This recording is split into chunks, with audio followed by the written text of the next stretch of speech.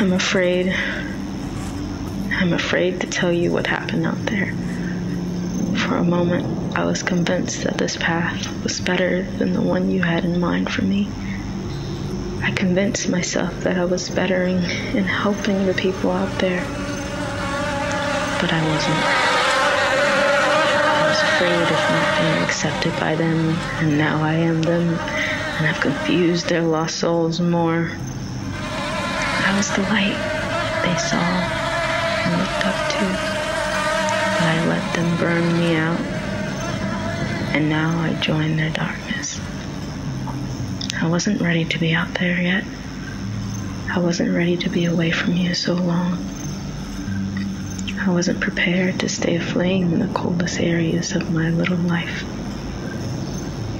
I'm afraid I'm too tainted to come back home. I felt too much to be fixed.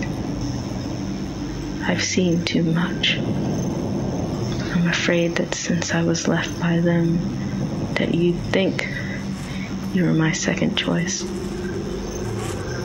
It's too late, isn't it?